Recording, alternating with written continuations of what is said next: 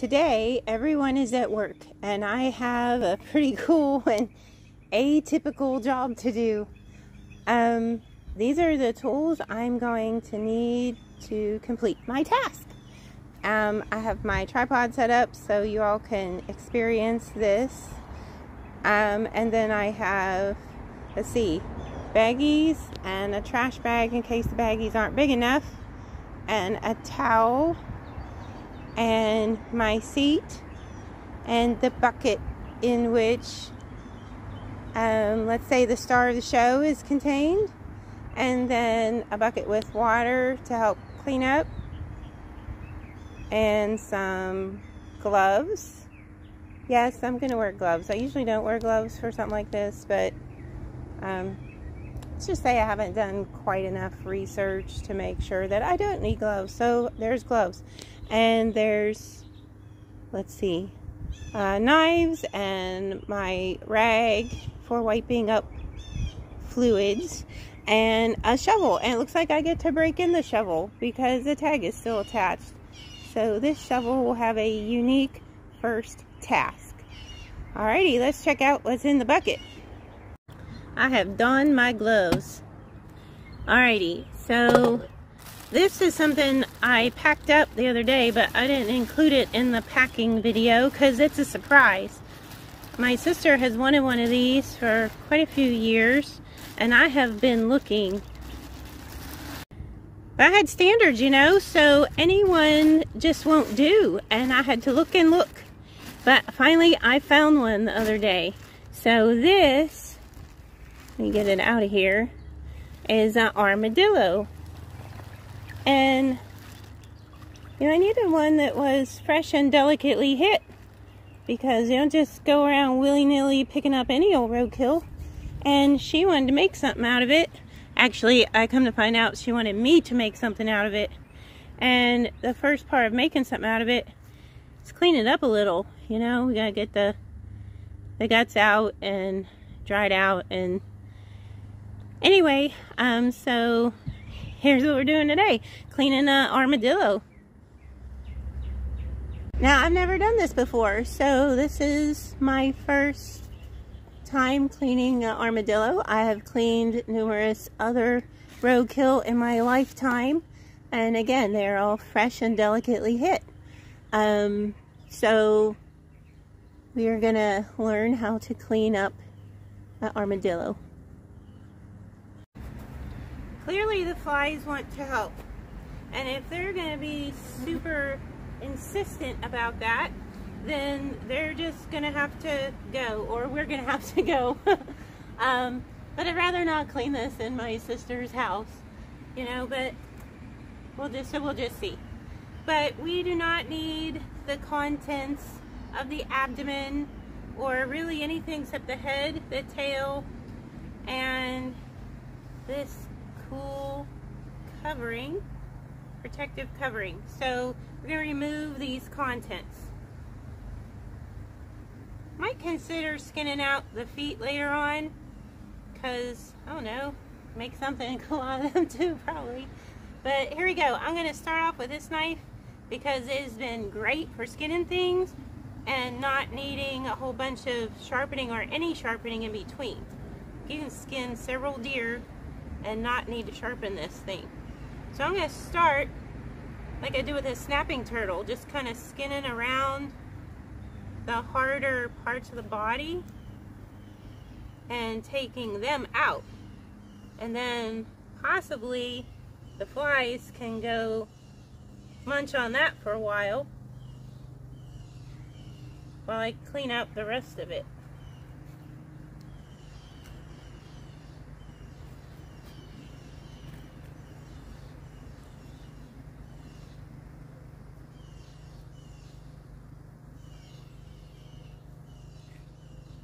So far, this is working really well. I'm going to keep the tail attached.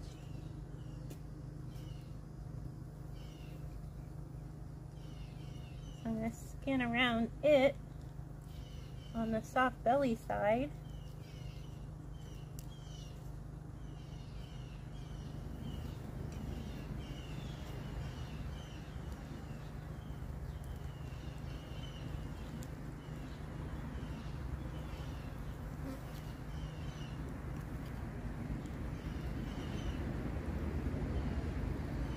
We're staying care, being care, we're being careful to stay right up against the outside covering because we want as little meat and connective tissue attached to the part that we're keeping because we're going to have to remove all of it. So the less we have to deal with, the better. All right, I'm skinning around the head again, keeping the head attached.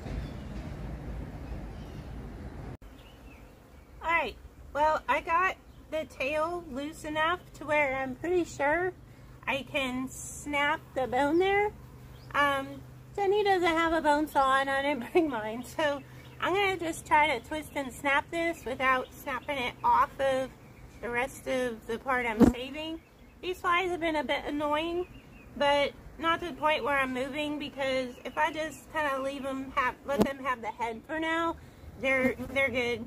Pretty soon they'll have other parts that they would probably prefer. So I'm going to try to snap this tail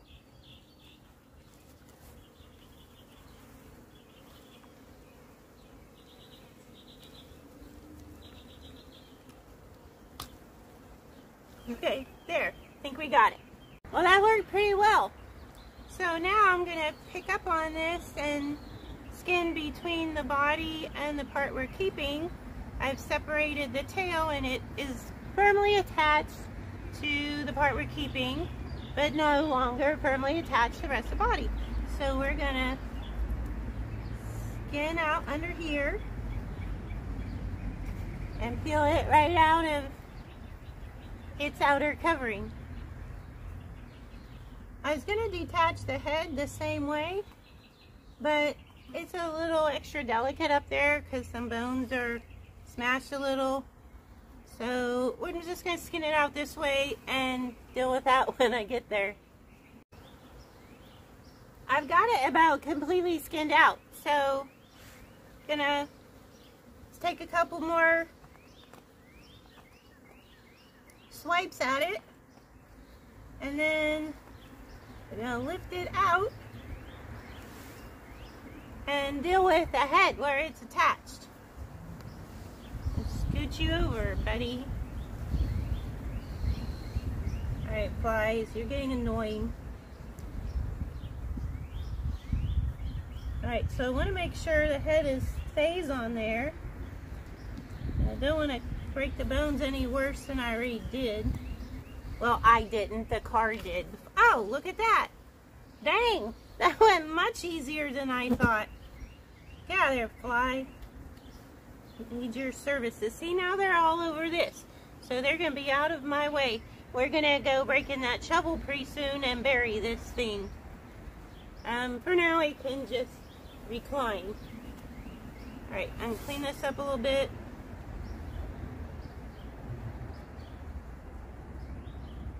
we did a pretty good job. See there? There's really not a lot in there, and I didn't have to switch out knives. Like, this thing rocks. So, I'm going to clean this up a little. Do some scraping. I could probably do some of that in the house. there, it worked. no, she wouldn't care. Well, yeah, I'm not betting on that. So, anyway, I'm going to do some cleaning on this probably a little later. And the plan, so here's the plan. I think, I think this is the plan. She wanted to make a coffee table. I don't know how in the world they're to make a coffee table out of it. So she's selling for a basket. And I know that's doable because I used to have one. But when I retired from teaching, I gave it away um, and I'm not going to ask for it back. So I'm just going to make a new one. And what it was, was it had dried, kind of like that, and it had bent, it head up a little. And we'll have to do some gluing, because there's a little crack here, but, you know, we'll just do the best we can. And then they curved the tail up like that, and you could put, I don't know, flowers or whatever the heck you want in it. It's a basket. So that is the plan. There's a little bit of a crack on the back, but it's not so bad either. Like we could glue that and make it to where you really can't even tell. So we're going to work on that. It's really pretty cool, like an accordion. I love these little critters. And they're so cool when they run around in the woods. But anyway, in case you were wondering, yes, I did look into the, the legality of this. And it's perfectly legal. And to much to my surprise, I even learned that PETA supports the picking up of roadkill because like you didn't kill it on purpose. Actually, I didn't even kill this thing. I'm just giving it a purpose in the afterlife. we also have a purpose in the afterlife, don't you think? no, I don't want to be a basket though. it's time to dig a hole and I'm going to put it right here and show my sister. I don't know if she's going to be interested in any of the bones once it's done being worked over by the microorganisms and bugs and such. But anyway, I'm putting it here and I'm going to spare you the actual digging process. I'm sure you know I'll dig a hole, but I'll show you the, the burying part just in case anyone's interested. I'm over here digging a hole and had to stop because this little dude came to check it out. The flies weren't as terrible as I thought they would be, so I decided to skin out the front and back feet and the skin over the belly because I figured I could tan it or make something out of them. No need to bury and waste these parts when I might be able to figure out something pretty cool to do with them. So anyway, this is a close-up of a back foot of an armadillo. Bet you never got to see one of those up close before. And here is the front foot of an armadillo. These are the coolest critters. I just wish when they were alive in the road and people tried to straddle them to keep them alive, I wish they didn't jump up and crack their back on somebody's underside of their car. And that's exactly what they do. They end up killing themselves like that. And then, sure, they don't intend to. It just happens because of their little adaptation to protect themselves is kind of counterproductive in that instance. But anyway, they are super cool. I admire them immensely. And I prefer them to be alive. But in the case that they aren't, you know, might as well be useful instead of going to waste. Rest easy, Mr. Armadillo. I didn't dig a very deep hole because, well, number one, the tree roots were pain in the rear end. And number two, I figured, you know, we're probably going to want to see the bones at some point. So I'm going to cover it up with the sandy soil that um, used to fill this spot. And then I'm going to put this here log on top of it to keep it safe from scavengers. And we'll just see what happens after that. But covering them up. Well, there we have it. Rest in peace, Mr. Armadillo.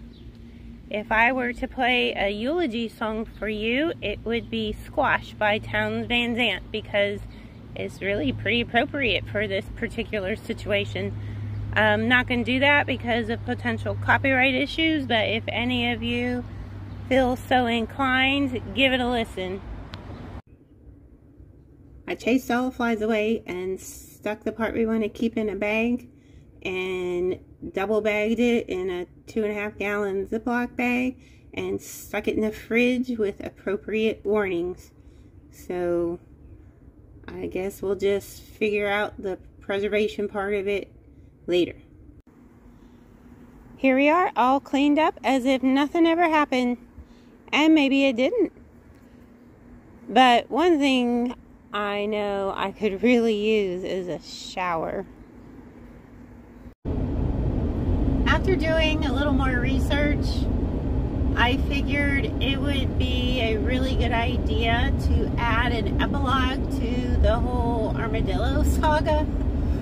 Um, I learned that they do or can carry leprosy. So I'm really glad I wore gloves and highly recommend that if you decide to preserve an armadillo for your very own, that you wear gloves too. And pay a little extra attention to cleanliness in general. Probably be a good idea. Also thought that I would um, post the link to the recommended eulogy song, um, Townes Van Zandt's Squash, uh, in the description below. I really hope that you give it a listen. It's pretty cool and a little bizarre how well it really fits the situation. Please check it out.